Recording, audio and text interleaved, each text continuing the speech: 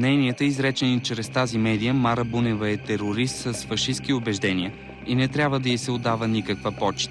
Сител е известна с просръбските си настроения.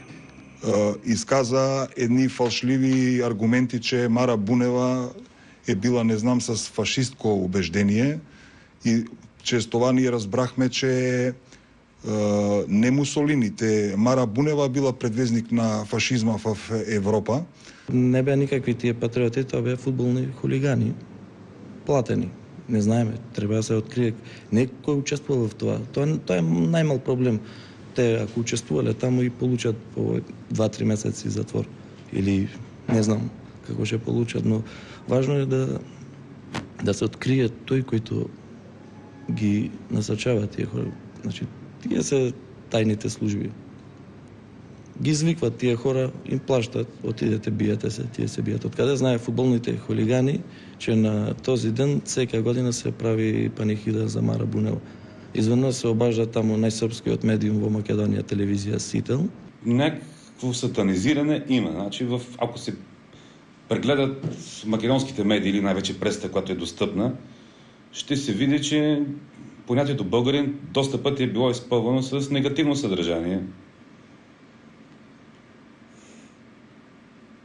Общо взето, насаждано е идеята, че е срамно да си българин.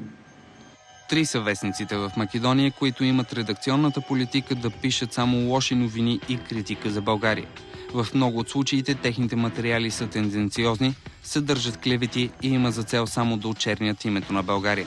Вестник вечер направи паралел с делото на Мара Бунева, като в прав текст призова да бъде убит лидерът на ВМРО в София Красимир Каракачанов и така да се обяви пред света желанието на Македония да се върнат в нейните предели дяловете от Пиринска Македония. За флагман на антибългарските кампании в македонската преса българите в Македония сочат утрински вестник. Освен него нелицеприятни неща за България, почти всеки ден можем да прочетем и във вестник Нова Македония. За България тук медуимите не казва нищо отдолу. Ако се хване нещо, хванали някакви мафиоти или не знам какво, това веднага се пуска. Значи, което е лошо от България, се пуска. Ето, какво става с България. И много хора, които постоянно са бомбандирани с такви информации, не знаят, защото не е бил там, и вярва на тия неща. Според Йован, тези медии в Македония обслужват интересите на Белград. Целта е Македония да си остане в просръбска орбита. Сърбия няма позволи по никой случай Македония да се отцепе цялостно от нея. Ние в момента сме уж някаква независна. Ние сме независни, да, но Сърбия постоянно ги влече конците в Македония. Преко тия тайни служби, които просто много трудно могат да бъдат изкоренени. Йован е убеден, че в Македония все още някои от нещата зависят и се контролират от хора свързани с бившите тайни служби. Затова според него е важно правителството в Македония по-бързо да уреди въпроса с отварянето на досиетата на бившата държавна сигурност. Много медиуми, главни уредници се част от тази държавна сигурност. Сръбска говоря. Тук, значи, имат бивши служители на държавна сигурност, които работили. Затова е добра новата влада. Някои начинания, които ги прави сега, дано да бъдат успешни.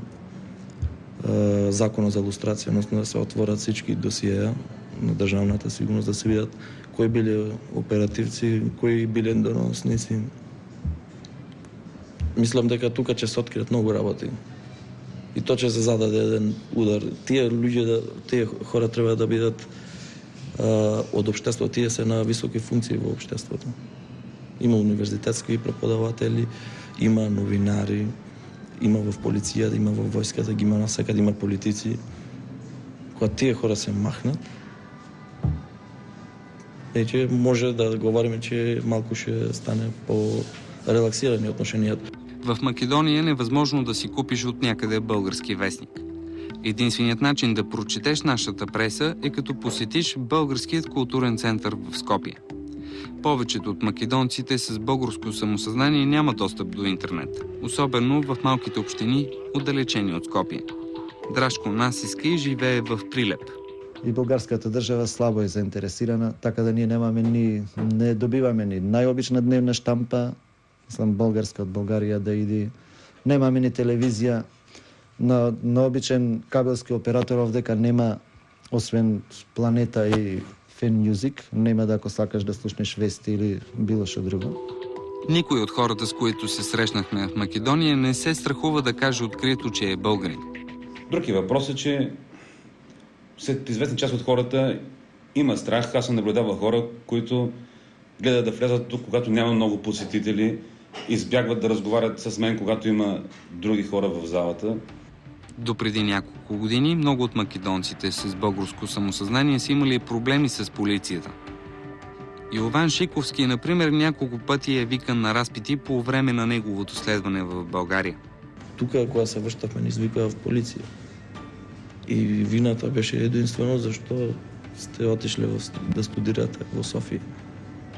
Ни говоря, че можем да се заразим от някакъв вирус в София, който ще го, в кавички, той вирус, който той вирус ще го разнасяме тук между хората. Се говореше за този български вирус. Притесняваш се така да се обявяваш като български македонец? Аз не се притеснявам, аз се обявявам, аз имам завършена история тук в Македония, но в самите книги тук в Македония научих каква е историята на тази държава, защото когато четох книгите, четох оригиналите, а не фуснотите. В основата на антибългарската кампания е изопачената и фалшифицирана история на Македония.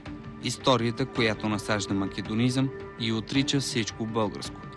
Няколко поколения македонци са заблудени от историците. Много от политическите, новинарските и академските кариери в Македония са изградени на една таква антибългарска основа. По принцип, може би таквото нещо и било може би оправдано в периода, когато Македония е била в състав на Югославия и когато трябвало да се щити може би една таква държава. Но сега е странно, когато Македония е нели, самостоятелна държава и когато може самата да си определя своята иднина. Ние бевме воспитувани тоа да ги мразиме българите, а да ги сакаме србите. От книжарница в Скопие купихме новата македонска енциклопедия, издание от края на миналата година. Според македонските историци, българите сме татари. Кирил и Методи и Климент Охридски са македонски просветители и автори на македонската азбука. Самуил е първият македонски цар. ВМРО – Организация на македонци за освобождение и избавление на независим македонски народ. Ръководителите на ВМРО Гоци Делчев, Дамей Груев и Яне Сандански всички до един били македонци. Според енциклопедията, българите през 41-44 година сме окупирали Македония. Нашите войски избили хиляди хора само заради това, че били македонци, а не защото били комунисти. И лъжите продължават да се насажат по най-безкруполен начин от историците в Скопие. Като за капак, енциклопедията дори включва в някогашните предели на Македония българските градове Благоевград, Петрич, Мелник и Сандански. Македонската история не се подкрепи от световната